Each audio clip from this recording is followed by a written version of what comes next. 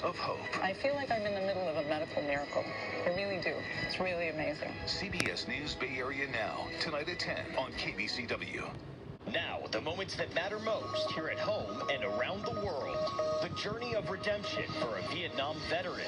Wait times in our emergency departments overall for, again, both adult and pediatric patients uh, are, are nearing historic highs. New warnings from overwhelmed hospitals. I love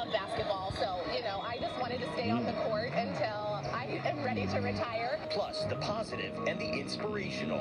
I'm Tom Hanson. Your news starts now.